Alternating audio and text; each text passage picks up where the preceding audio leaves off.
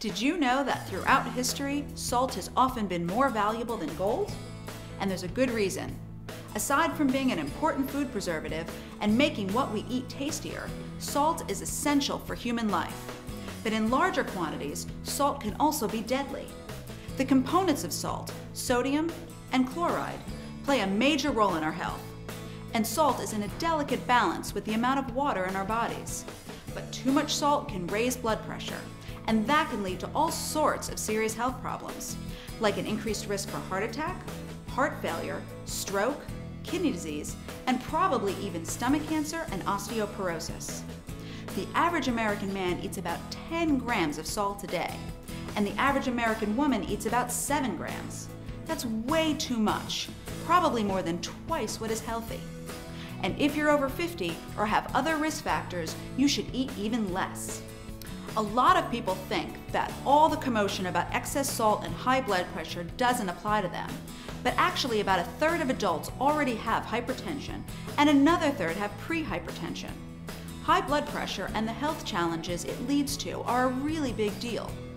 Heart attack is the number one cause of death in the United States, and stroke is the third. About 100,000 deaths each year have been linked to simply eating too much salt. There are a number of ways to lower your salt intake. Toss the salt shaker and don't add salt to the foods you make. Ask restaurants not to add salt to your dishes either. Another good idea is to check sodium content on labels. Did you know that about 75% of the salt we eat comes from processed foods like breads, cereals, soups, deli meats, fish, and poultry? And don't even get me started on fast foods.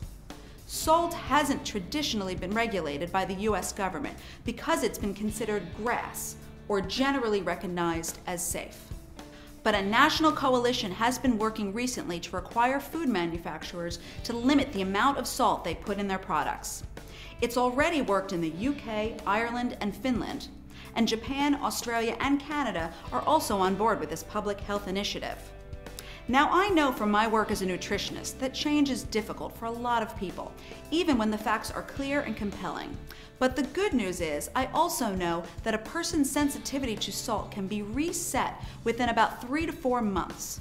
So, by slowly reducing your high salt intake, your taste buds can adjust to and appreciate the full range of flavors without feeling meals are bland. Now, that's good advice worth its weight in salt.